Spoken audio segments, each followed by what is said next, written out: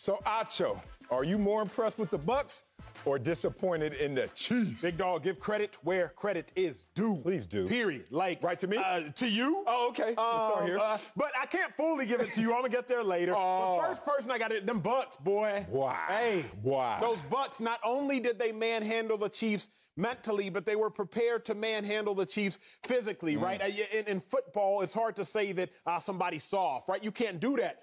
But them Chiefs got dominated between the white lines, outside of the white lines, anywhere you could get dominated, Sel, they got dominated. I got to give y'all a lot of opinions throughout the course of the show. Let me do my job because uh, my gloat period is about over right now in terms of watching, witnessing the Bucs' dominance. I love that you started off with the fact that it seemed like there was also a mental edge out there. We could always talk about the physical aspects, we could talk about the scheme differences and philosophy. But I understand where you're going in terms of the mental toughness that was exhibited by the Bucs. I want to start there. Because a lot of times in our business, we don't like to say somebody got punked because no punks are out there. But when you have two tough guys and one of them, by his will, actually dominates the other one who Yes, has sir. greater skill, I will do my job and say, yeah, y'all got punked. Now, on top of everything I saw, I saw those pads thumping once again. And the pads of the Tampa Bay Buccaneers is really the key indicator to their success. And that was the first thing I was listening to. I was watching that game. Forget the score. You know, they go out to three and out. Forget all that. I'm looking to say, who really wants it? In a game where everyone says they want it, who's going to show that they want it most? I saw it with the Tampa Bay Bucs.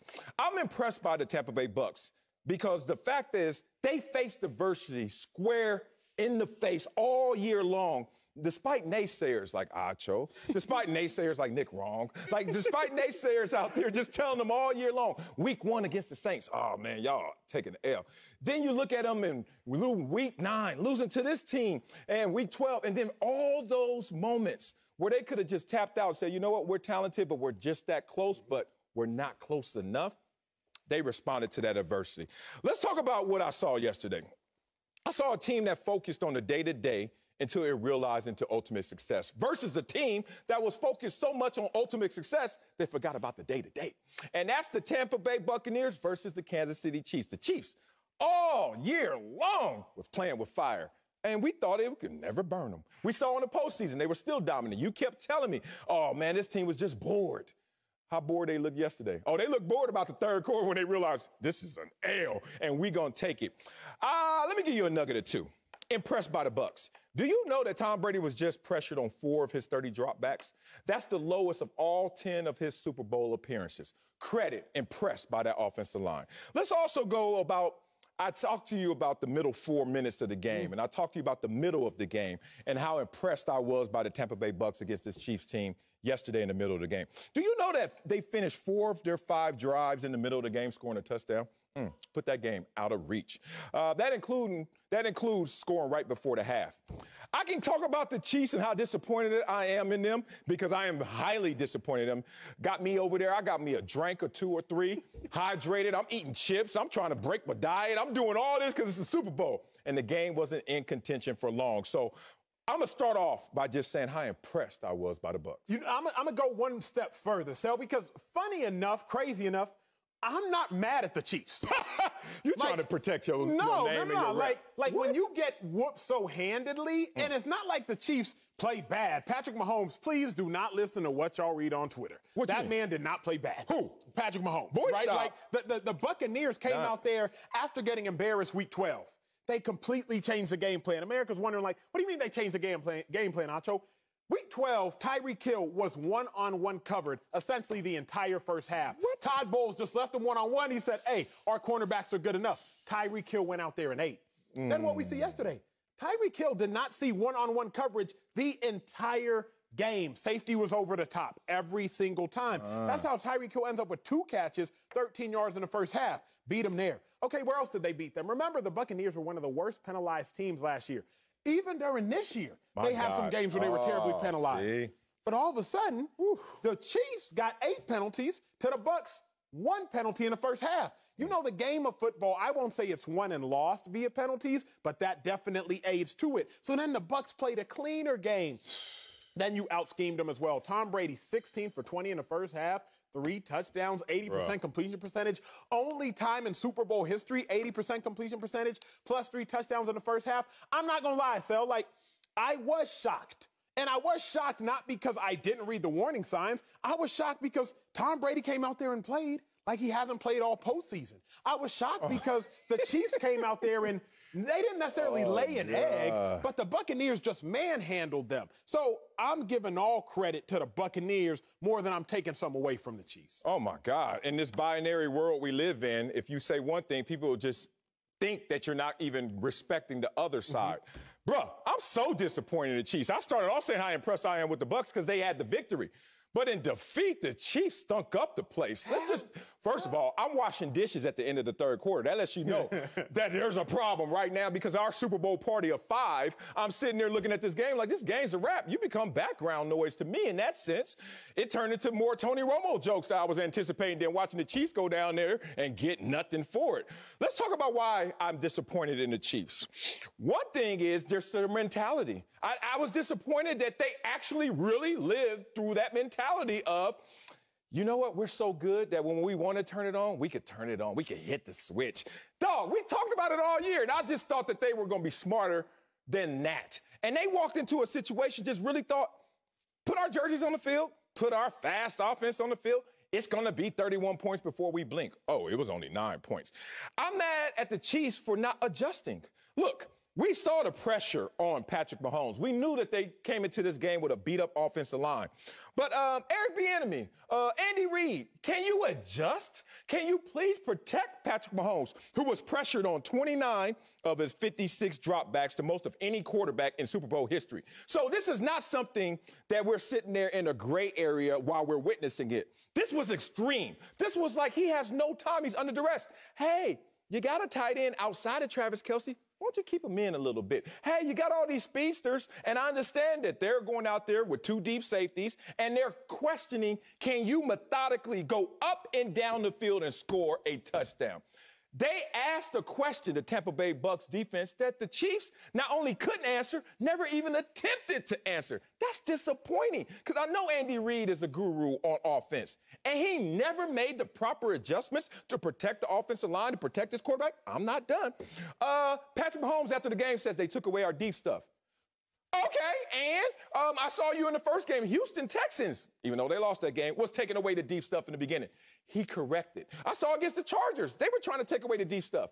He corrected. The Raiders, they lost that game, but still there was a correction. Every one of the close games you saw from the, the Kansas City Chiefs this year, you saw a correction. Did you even see an attempt at a correction yesterday? I did not see that. So now I'm left to surmise that Patrick Mahomes is amazing. He's tremendous, but he has two losses in his postseason. Mm-hmm. Both of them to a chess master, the same guy in Tom Brady. So what I'm upset about is you're going into a game on talent and talent alone. You got to win the mental game, the mental aspect as well. And that's why I'm disappointed. Uh, my, my thing, though, Sel, is like, I don't know that the Chiefs didn't correct. They got beat at their own game. Mm, what do the Chiefs do? The game is we get out so far ahead of you that we throw you out your game. Oh no, that's, that's what not the, true. That's what the Chiefs typically no, do. No, the Chiefs are fourth quarter comeback kings as well. Down they 10, can. down 10, down 24 last year. They and can, but that's not that. what they that's not what they do. No, no, Patrick they Mahomes can do that. They even admit this that okay, we usually self-correct and we couldn't. And I don't know why. Here, here's where I go. Okay, let's the, go. The Chiefs really where I'm the only way I'm disappointed in the Chiefs, you should have run the ball more. Anytime you're sitting in a too high safety yeah. look, run the ball more. Offensively, yeah, that's you, real. we were able to run the ball. That's an like, adjustment. Uh, Clyde Edwards-Helaire, he averaged uh, what do you have? He had nine carries, 64 yards. He was doing his thing. Uh, you were able to run the ball, but the problem is yes. the, the Bucs go up seven to 3 mm-hmm. Bucs go up 14-3. Bucs go up 14-6. Bucs go up 21-6. All of a sudden, Andy Reid is looking around like, uh, do we stick to the run game? Do we stick to the run game? Do we stick to the run game? In theory, yes, they should have. That's but halftime, also, bro. That's halftime. How did the Bucs get their lead? the first touchdown penalty. Second touchdown penalty. Wow. Third touchdown penalty. No, I'm not blaming the refs. Oh. I'm saying I'm not. I'm not saying oh. that it's a ref issue okay. because you, you, put your position, you put yourself in position to get penalties mm-hmm. called on you. Mm-hmm. But what I am going to say is I'm not disappointed in the Chiefs for what? For, for getting a PI call that's up in the air? For getting another defensive holding call that's up in the air? Okay, when you dive at Mike Evans' legs, I'm mad at that one, but I'm not disappointed in the Chiefs for that. You're not I'm disappointed in an offense that averages over 30 points a game and only comes out with nine? You're not disappointed? Acho, I love you, but you got to be like, dog, that's not y'all. And the reason it wasn't you is because you were getting pressured because you was not only getting physical pressure, but the literal mental pressure of this team is out in front of us. What happened to the comeback kid? What happened? Last year on his road to success and greatness, down 10, down 10, down 24. Oh, at halftime, you're down 15. That's not insurmountable. What happened? You know what happened? This team never figured out the calculation because this year they played with fire too damn long. But let me say this I, I can't be disappointed if you don't make a great play. I can be disappointed if you don't make a good play. But remember Tyreek Hill, who drops that touchdown pass after Mahomes miraculously scrambles? Yeah. That's a phenomenal catch. Even when uh, Mahomes is laying parallel to the ground, throws it up there, and it goes through Williams' hands because a defender missed an interception, that would have been a great play. Mm. You don't know how hard it is to catch a ball when somebody goes right before your line of sight before you catch it. Oh, now I'm it's not, hard. In this game, again, no, it's hard. But they do it all year long. Those would have been great plays. I'm not mad at you for not making a great play. I'm mad at you for not making a good play. Travis Kelce drop uh, early in the second quarter. That I can be mad at. But the Bucs just manhandled them. Yes. Like, so you're not disappointed in the team getting manhandled? What kind of coach are you? And, and what kind of teammate are you? Because can you say who played bad? Patrick Mahomes ain't Patrick, bad. His quarterback rating was 52, bro.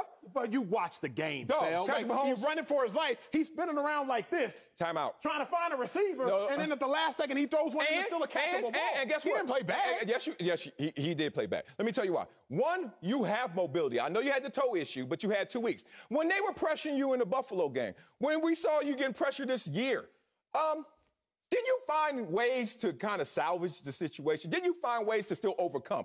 As the old saying goes, be greater than your greatest excuse. And right now, I don't see it from this team. You Sorry. like my old, you are elementary report card. We used to get these report Straight cards. A's? No, I ain't get no straight A's. No, no, no. I ain't go to Harvard. I went to Columbia. Uh, here's the thing. Uh, it, it, was line items between achievement and effort. In the same class, you would get two grades: achievement and effort. Obviously, yesterday, their achievement is an F. I mean, F. They didn't, not only did they lose, they got beat down. It was over before it was over. That's a beat down. Give me the joysticks. That was one of those games. Here's the effort grade. Probably an F as well. Why? Because I didn't see the effort to reset your team. I didn't see the effort to try a different way. I didn't see the effort even in terms of physicality. Dog, when all else fails, coach says go 100%, even if it's the wrong direction. If you do it together, you can find your way. This team got beat up, they got punked, and then they didn't have any answers, supposedly with the greatest quarterback you, living. You said be greater than your greatest excuse, mm-hmm. not excuses. Right? It's one thing if what? you're with that down one player. But I'm saying, bro, you, you play D line. So you know what it is. Patrick Mahomes, left tackle, Eric Fisher, he out. Right tackle, Schwartz, been out. He was oh, running so why did they play the game? for his No, no, no, don't do that. Don't do you, that. he wasn't running for his life. Well, how long they been out, though? Fisher just got out. Uh, how long? No, been no, out. No, how long just got out. How long they been out? Maybe a week, two uh, weeks. Uh, uh, uh, like Fisher, did you play? Yeah. Did you play out. games with, without your uh, offensive line What I'm saying is the Chiefs on, didn't go out there and have pure drops. The Chiefs didn't go out there and, and, and, and fumble the ball at their own goal line. Chiefs made great goal line stands. The only play where I'm really like, yo, Chiefs. The only way I'm play, I'm really like, man, I'm disappointed in the Chiefs. Travis Kelce's dropping a shank punt after that. Those are the only two plays where mm. I'm like, that's very disappointing. that is out of character. Well, oh, it's out of it's not out of character Patrick Mahomes. Well, you're right. It's not out of character for Patrick Mahomes to stink it up in the Super Bowl because he pretty much stunk it up last Super Bowl for three what quarters. What do you want the man to do? I want the man to sh- give me more than nine points. I, I, when, when's the last time Patrick Mahomes has lost a game by more than eight points? Junior year in college. Okay, no, that's not enough. So that wasn't Patrick Mahomes. When the last time Patrick Mahomes has ever been in a game where he didn't score a touchdown?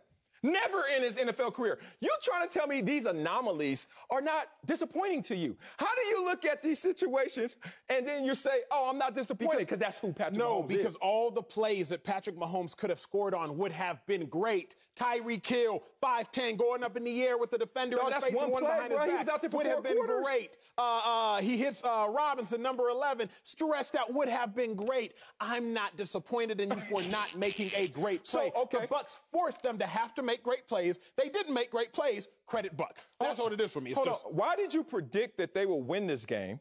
And, and then you were predicting not only would they win the game and score over 30, but it may not even be close. But then you knew the variables coming into the game. You knew that who had the most turnovers in terms of takeaways as a defense? Tampa Bay Bucs. You know who had the most pressures in the NFL this year? Tampa Bay Bucs. You knew that the Chiefs had a compromised offensive line, but you still had an expectation Correct. of 30 plus points. Correct. And then when they give you only nine, you're not disappointed. Because- make that make sense. And it makes sense because of this. We've never seen anyone do what Todd Bowles did to those Chiefs. Who?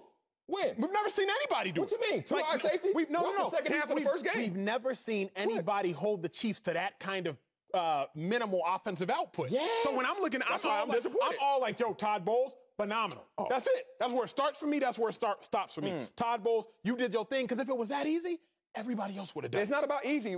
Don't move the conversation. This is a relative existence we all live in, right? If you are deemed good, guess what? Sometimes somebody is going to be deemed bad, right? You flip a coin, it's heads and tails. All I'm saying is tremendous Todd Boys, Todd Bowles. Let's flip the coin. You're trying to tell me that's not bad Chiefs? That's not bad Bucs? I mean, that's not bad uh, Kansas City Chiefs and bad Patrick Mahomes? It looks that way. You know why? Because the the Buccaneers didn't even do everything the Buccaneers wanted to do. In terms of overall score, they did, but in terms of the pressure, in terms of them getting the sack numbers, dog, they have done worse. Aaron Rodgers was sitting there like, oh, Patrick Mahomes, that's all? That's all you could do? Because I saw that deep. They had five sacks on Aaron Rodgers, and he made it a more contentious game than Patrick Mahomes, bruh. We got a lot of conversation going forward about Patrick Mahomes. And as you said, not disappointing in the Super Bowl, because we've seen this before.